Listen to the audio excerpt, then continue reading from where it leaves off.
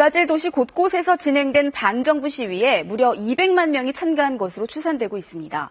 이 정치권의 뇌물 스캔들이 시위의 도화선이 됐는데 대통령 탄핵 요구까지 나오고 있습니다. 박영관 특파원이 보도합니다.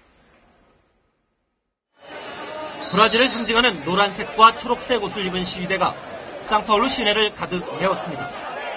시위에 참가한 브라질 국민들은 집권 노동자당 비리 척결과 지우마 대통령 탄핵 등을 주장했습니다. 브라질 국영 에너지 기업인 페트로브라스 비리와 관련한 정치권 뇌물 스캔들이 시위의 도화선이 됐습니다. Se não tivesse tanto roubo hoje no Brasil, nós teríamos uma condição de vida muito melhor. Então, tirar um pouco do bolso dos políticos e devolver para o povo.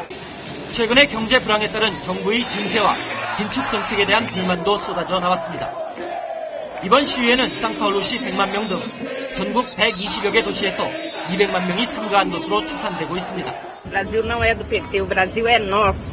Fora Dilma, fora PT, acabar com essa raça aí. Ninguém aguenta mais. 대통령 탄핵을 위해서는 브라질 상하원 3분의 2 이상의 찬성이 필요한 데다 야당에서조차 대통령 탄핵에 대해서는 의견이 엇갈리고 있습니다. 이 때문에 지우마 대통령에 대한 탄핵이 현실화될 가능성은 크지 않지만 브라질 정부는 당분간 혼란이 이어질 전망입니다. 상서울에서 KBS 뉴스